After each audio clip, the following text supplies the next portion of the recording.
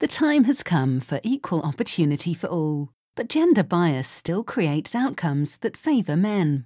The new OECD recommendation on gender equality in public life provides governments with tools to promote gender equality as a policymaker, as a role model, and as an employer. As a policymaker, the public sector must apply a gender lens to its institutions, decision making, and budgeting processes. It isn't always easy. Because it's so prevalent, gender bias can be hiding in plain sight.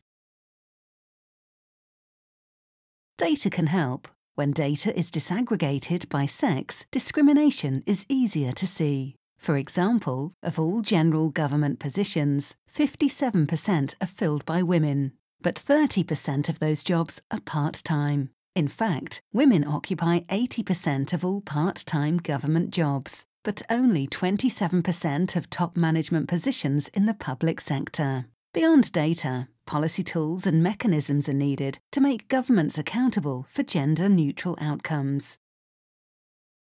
As a role model, governments must ensure that women have an equal voice in public decision making. For example, although more women are serving in ministerial positions in OECD countries, a significant gender gap still exists. The fact is, countries with gender balanced decision making bodies enjoy a higher degree of public trust. A number of tools can give governments the power to close the gender gap entirely. As an employer, the public sector must ensure that women employees enjoy the same advantages and prospects as their male colleagues. Although women represent more than half of public sector jobs in OECD countries, many women experience frequent career breaks, maintaining them in a cycle of low wages, less satisfying prospects, and smaller pensions.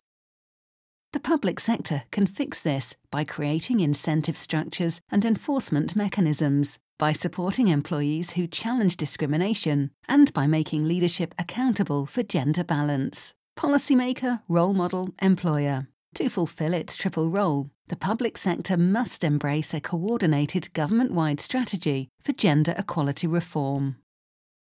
The OECD recommendation on gender equality in public life provides fresh ideas and policy guidelines towards establishing equality between men and women once and for all.